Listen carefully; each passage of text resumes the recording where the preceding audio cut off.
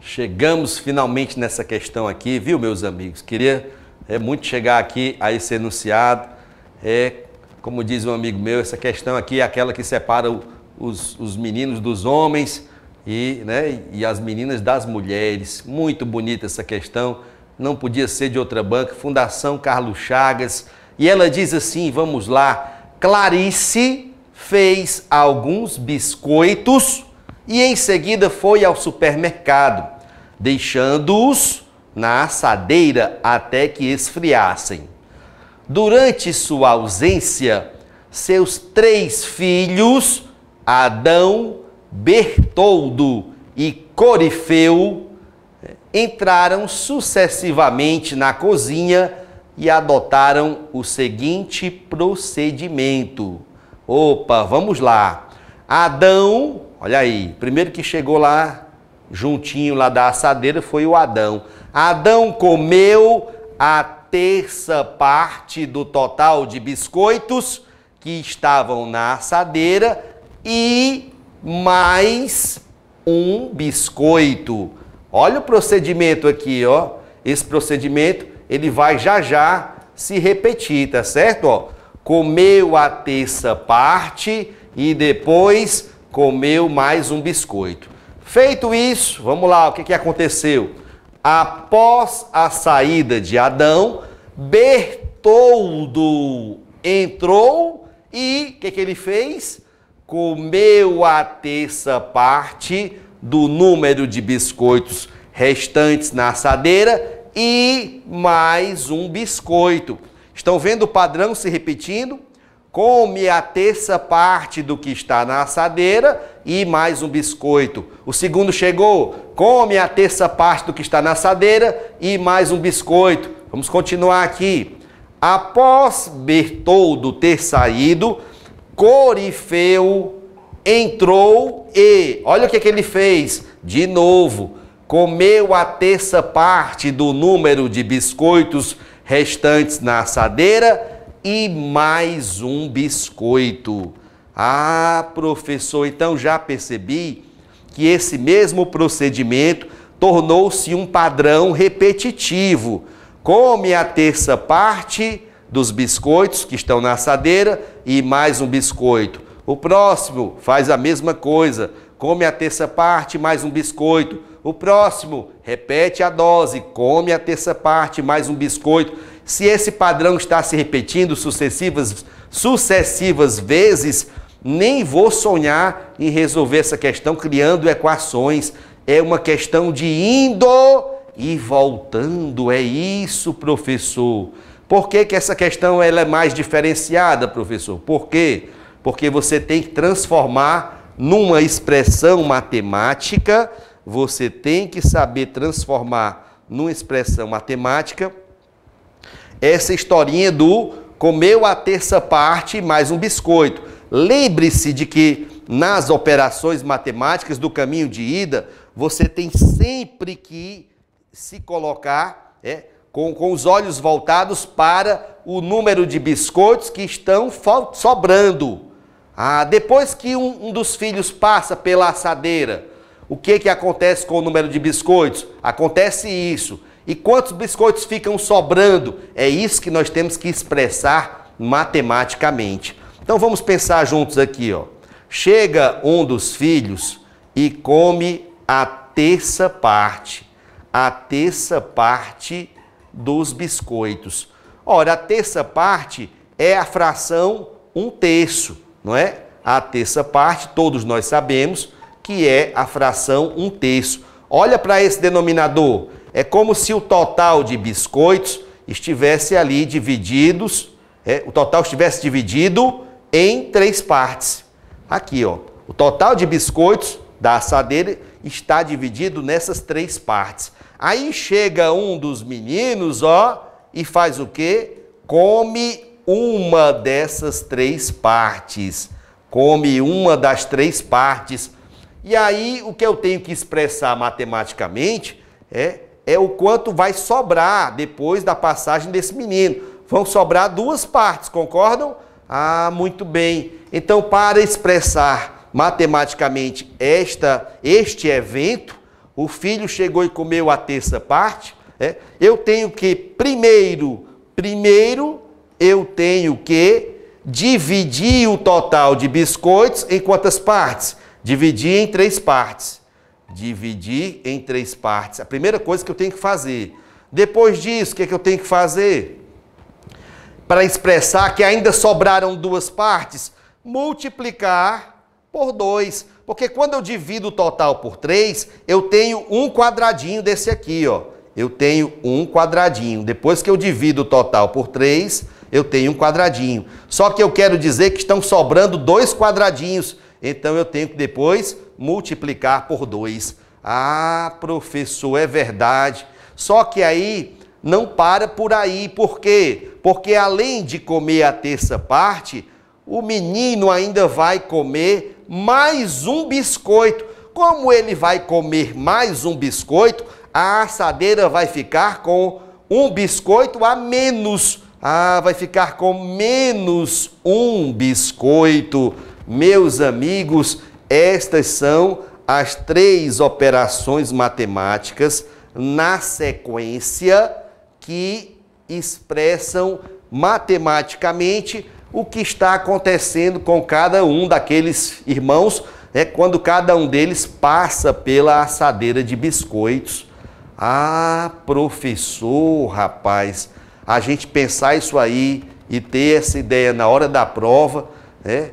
Tem que se abrir assim uma, né? o teto tem que se abrir, uma luz vir ali no alto, né? Iluminar a sua cabeça. É, tem que estar muito inspirado. Mas é exatamente isso. Eu acho que eu consegui fazer você compreender, não é? Ótimo. Então vamos lá. Já, já podemos continuar aqui a leitura da questão. Ela diz assim, ó, considerando que somente os três filhos comeram tais biscoitos e que, ao voltar do supermercado, Clarice encontrou apenas cinco biscoitos na assadeira o total que havia antes de Adão comer a sua parte era de quantos? Ah, então vamos fazer aqui o desenho da questão naquele modelo que nós já conhecemos do indo e voltando. Havia originalmente X biscoitos na assadeira. Originalmente havia X biscoitos na assadeira. Com a passagem do primeiro filho, Olha as operações matemáticas que nós vamos fazer. Dividir por 3, multiplicar por 2, subtrair de 1. Ah, professor, olha aí, ó. Dividir por 3, multiplicar por 2, subtrair de 1. Aqui está representada a passagem do primeiro filho. Veio o segundo filho, dividir por 3, multiplicar por 2, subtrair de 1. Um. Aqui está representada a passagem do segundo filho. Veio o terceiro filho, dividir por 3, multiplicar por 2, subtrair de 1. Um, e aqui chegamos ao final de tudo. Após a passagem dos três filhos, diz a questão que ainda restaram cinco biscoitos na assadeira. Restaram ainda cinco biscoitos na assadeira. Esse caminho de cima, o caminho de ida, nós já concluímos, nós já fizemos. Agora temos que criar o retorno, o caminho de volta. E você já aprendeu comigo aqui no nosso encontro passado que esse caminho de volta será construído invertendo-se as operações do caminho de ida. Então lá em cima era uma subtração, aqui fica uma soma mais um. Lá em cima era uma multiplicação vezes 2, aqui fica uma divisão, dividido por 2. O inverso da multiplicação é a divisão. Aqui tínhamos uma divisão dividido por 3. O inverso da divisão é a multiplicação vezes 3. Opa! Agora, para o filho do meio, aqui temos uma subtração vira soma, mais um. Aqui tínhamos multiplicação, vira divisão, dividido por dois. Aqui tínhamos uma divisão, vira multiplicação vezes três. E finalmente aqui tínhamos uma subtração, que vira soma, mais um. Tínhamos uma multiplicação que vira divisão, dividido por 2. Tínhamos uma divisão que vira uma multiplicação vezes 3. E agora já estamos prontos para fazer os cálculos do caminho de volta. Partindo de que valor, professor? Partindo desses cinco biscoitos que é, terminaram aqui. É a passagem dos três irmãos.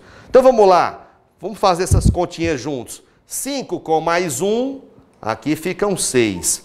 6 dividido por 2, ficam 3. 3 vezes 3, ficam 9.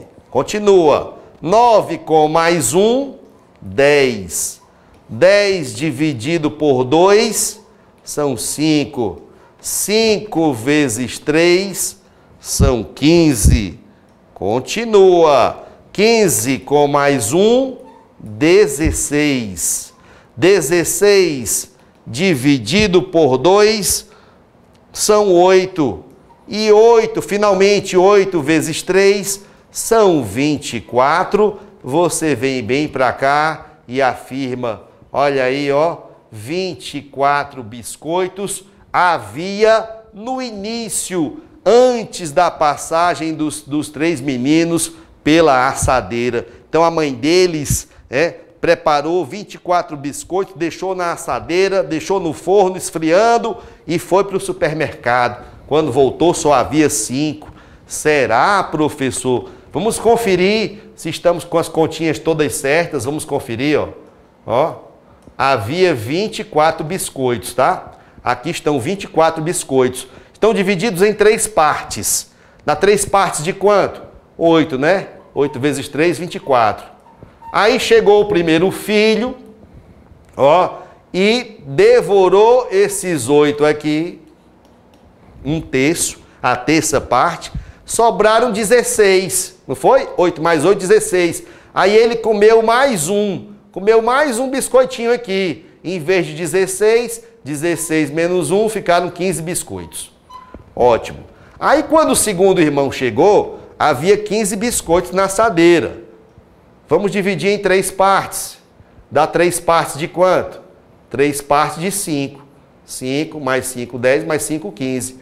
Aí ele comeu a terça parte, comeu um terço, comeu cinco biscoitos.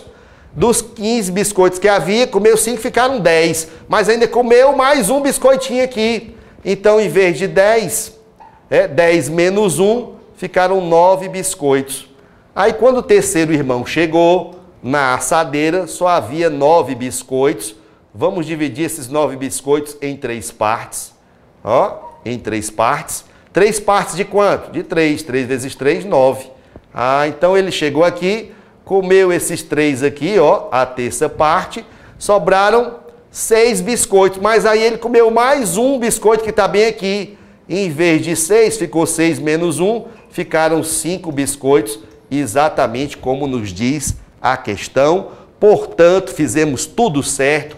Havia originalmente 24 biscoitos na assadeira. Você chega aqui e marca letra B de bola, resposta da questão número 2.